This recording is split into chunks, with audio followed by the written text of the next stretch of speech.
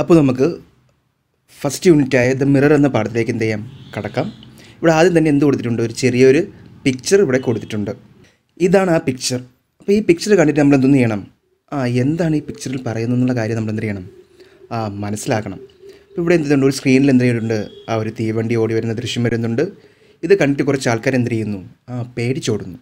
അപ്പോൾ ഇതാണ് ആ പിക്ചറിൽ നമുക്ക് എന്ത് ചെയ്യാൻ പറ്റുന്നത്? ആ മനസ്സിലാക്കാൻ പറ്റുന്നത്. ഈ പിക്ചറിന് തൊട്ട് താഴെയായിട്ട് എന്തോ ഒരു ചെറിയൊരു ഡിസ്ക്രിപ്ഷൻ കൊടുത്തിട്ടുണ്ട്. നമുക്ക് അതെന്താണെന്ന് നോക്കാം.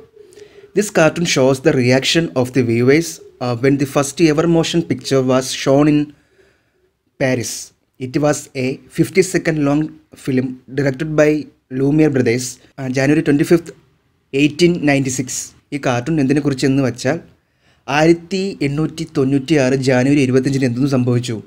ആ ലൂമിയർ ബ്രദേഴ്സ് അല്ലെങ്കിൽ ലൂമിയർ സഹോദരന്മാർ ലൂമിയർ സഹോദരന്മാർ എന്ത് ചെയ്തു? ആ ഒരു അമ്പത് സെക്കൻഡുള്ള ഒരു ചെറിയൊരു ഫിലിം എന്ത് ചെയ്തു? അവർ സംവിധാനം ചെയ്തു. അങ്ങനെ നിർമ്മിച്ച അല്ലെങ്കിൽ അങ്ങനെ സംവിധാനം ചെയ്തെടുത്ത ആ ഒരു അമ്പത് സെക്കൻഡ് ദൈർഘ്യമുള്ള ആ ഒരു ഫിലിം എന്ത് ചെയ്തു? ആ പാരീസിൽ എന്ത് ചെയ്തു? ഷോൺ ചെയ്തു. ഷോൺ ചെയ്തു വെച്ചെന്താണ് അവിടെ പ്രദർശിപ്പിച്ചു. അങ്ങനെ പ്രദർശിപ്പിച്ചപ്പോൾ എന്ത് ചെയ്തു? യെസ് അത് കണ്ടുന്ന ആൾക്കാർ പെട്ടെന്ന് എന്ത് ചെയ്തു? അത് കണ്ട് പേടിച്ച് എന്ത് ചെയ്തു? ആ ഓടി. അപ്പോൾ ആ ഒരു കാഴ്ചയാണ് നമുക്ക് എവിടെ കാണാൻ പറ്റുന്നത്? ആ ഈ മേലെ കൊടുത്തേക്കുന്ന ഈ പിക്ചർ എന്ത് ചെയ്യാൻ പറ്റുന്നത്? കാണാൻ പറ്റുന്നത്. അത് കഴിഞ്ഞ് ചെറിയൊരു മൂന്ന് ക്വസ്റ്റ്യൻ കൊടുത്തിട്ടുണ്ട്. സിമ്പിൾ ക്വസ്റ്റ്യൻ ആണ്. നമുക്ക് അതും കൂടി നോക്കാം. What you seen in the cartoon നിങ്ങൾ എന്താണ് ആ കാർട്ടൂൺ എന്ത് ചെയ്യുന്ന ആ കാണുന്നത്? What are the viewers doing viewers എന്ന് വെച്ചാൽ ആ കാണികൾ. ആ കാണികൾ അവിടെ എന്താണ് ചെയ്യുന്നത്? What they expect to happen അവരെന്താണ് എക്സ്പെക്ട് ചെയ്തത്? എന്താണ് എക്സ്പെക്റ്റ് ചെയ്തതെന്ന് വെച്ചതാണ് പ്രതീക്ഷിച്ചത്? അവിടെ എന്ത് സംഭവിക്കുന്നതാണ് അവർ പ്രതീക്ഷിച്ചത്?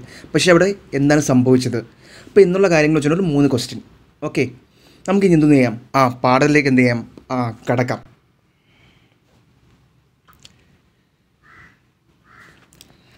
അപ്പോൾ ഇതാണ് നമുക്ക് ഫസ്റ്റ് പഠിക്കേണ്ട എന്തോന്ന് ആ ചെറിയൊരു സ്റ്റോറി എന്ന് പറയുന്നത്. ഇത് ഐലൻഡ് ഇത് ഐലൻഡ് ഐലൻഡ് എന്ന് വെച്ചാൽ എന്താണ്? ആ ദ്വീപ്. അതായത് വെള്ളത്താൽ ചുറ്റപ്പെട്ട് കിടക്കുന്ന സ്ഥലത്തെ നമ്മൾ എന്തെന്ന് പറയുന്ന.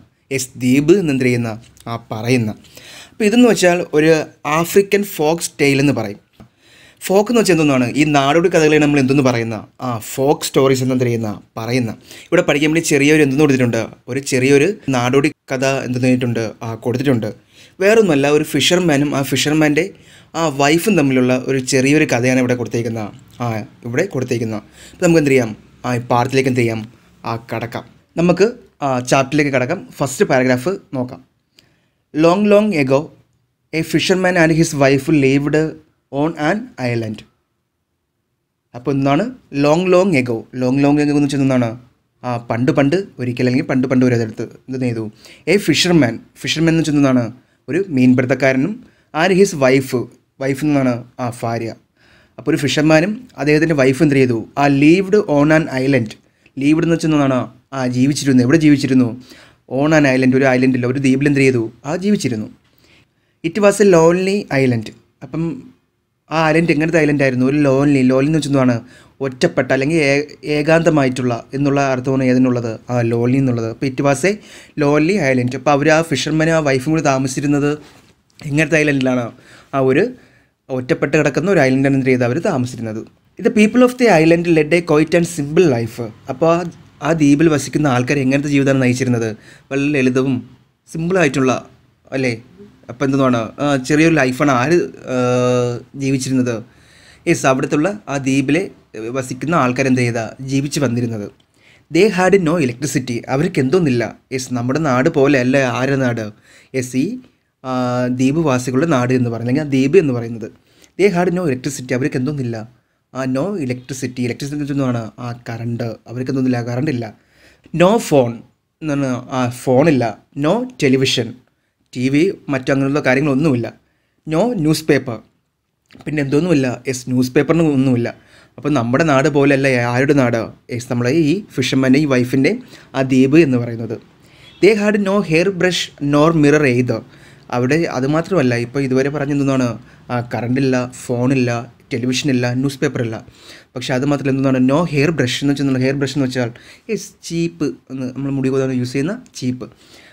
നോർ മിറർ ഏതർ ചീപ്പ് പോയിട്ട് എന്തൊന്നുമില്ല.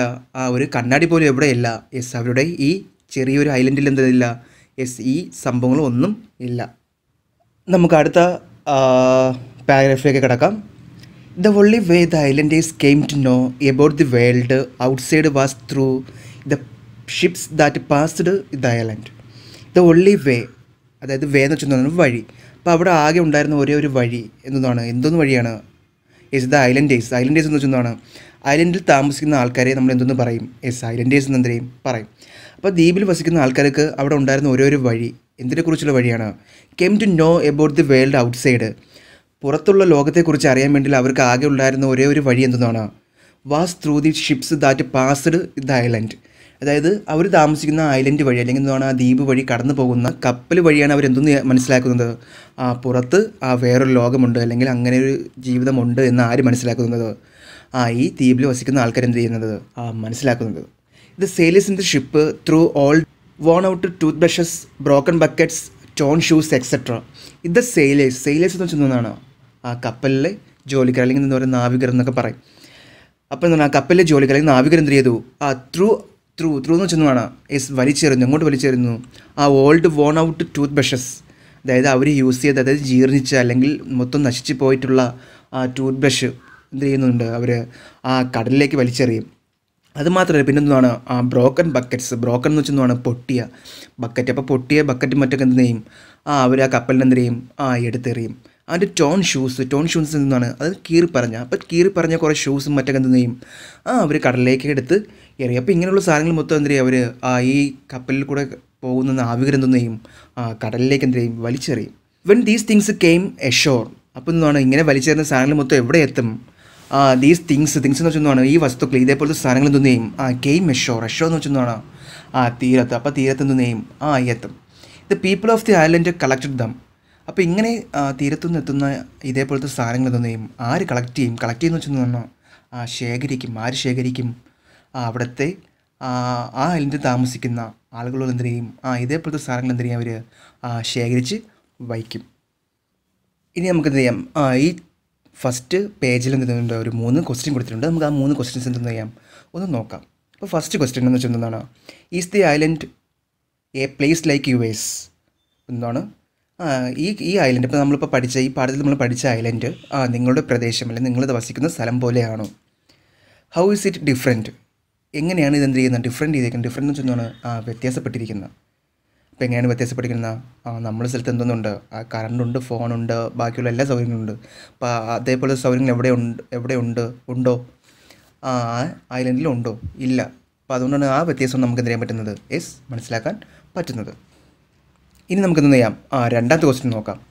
How did the islanders know about the world outside എങ്ങനെയാണ് അവിടുത്തെ ഐലൻഡിലുള്ള ആൾക്കാർ എന്ത് ചെയ്യുന്ന? ആ പുറമേയുള്ള ലോകത്തെക്കുറിച്ച് എങ്ങനെ ചെയ്യുന്ന? ആ മനസ്സിലാക്കുന്നത്. എങ്ങനെയാണ് മനസ്സിലാക്കുന്നത്? ആ ദ്വീപ് വഴി കടന്നു പോകുന്ന ഷിപ്പ് പോകുമ്പോഴാണ് അവർ എന്തൊന്നും മനസ്സിലാക്കുന്നത്? ആ പുറമേയുള്ള ലോകത്തെക്കുറിച്ച് എന്ത് ചെയ്യുന്നത്? ആ മനസ്സിലാക്കുന്നത്. മൂന്നാമത്തെ ക്വസ്റ്റ്യൻ നോക്കാം. Why did the islanders collect the things came ashore എന്തിനു വേണ്ടിയാണ് അവരെന്തെന്ന് ചെയ്യുന്ന? ആ ഈ തീരത്തെത്തുന്ന എഷോർ എന്ന് വെച്ചാൽ തീരം. ആ തീരത്തെത്തുന്ന അതേപോലത്തെ വലിച്ചെറിയുന്ന സാധനങ്ങൾ മൊത്തം എന്തിനാണ് അവർ കളക്ട് ചെയ്ത് വയ്ക്കുന്നത്? എന്തിനു വേണ്ടിയായിരിക്കും കളക്ട് ചെയ്ത് വയ്ക്കുന്നത്? മിക്കവാറും അവർക്ക് എന്തിനു വേണ്ടിയായിരിക്കും.